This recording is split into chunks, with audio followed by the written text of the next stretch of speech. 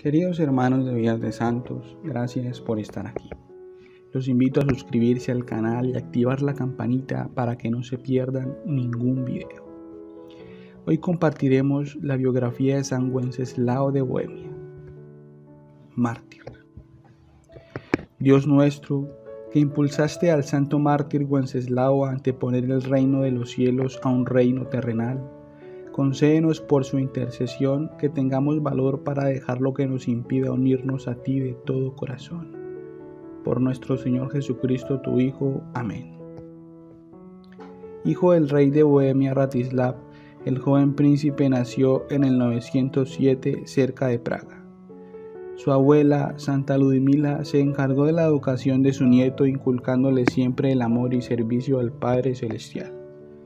Cuando era todavía muy joven, el santo perdió a su padre en una de las batallas contra los magiares.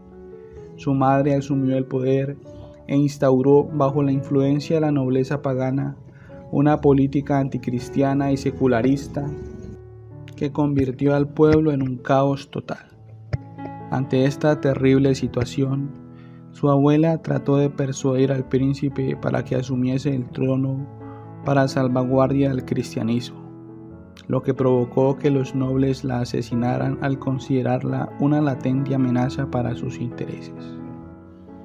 Sin embargo, por desconocidas circunstancias, la reina fue expulsada del trono y Wenceslao fue proclamado rey por la voluntad del pueblo y como primera medida anunció que apoyaría decididamente a la ley de la Iglesia de Dios instauró el orden social al imponer severos castigos a los culpables de asesinato o de ejercer esclavitud y además gobernó siempre con justicia y misericordia.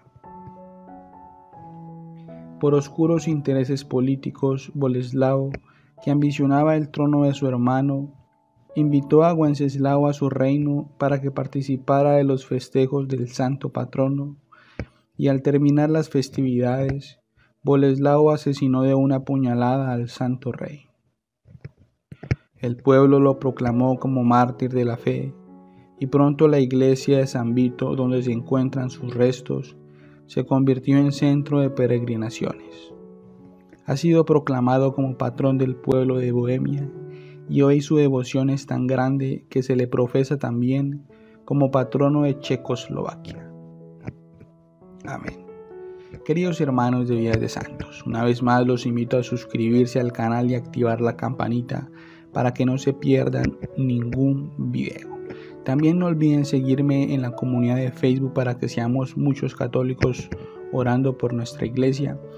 Y si te perdiste el video de ayer de San Vicente de Paul, te lo dejo en el comentario fijado para que le eches un vistazo. Dios te bendice hoy, mañana y siempre. Amén.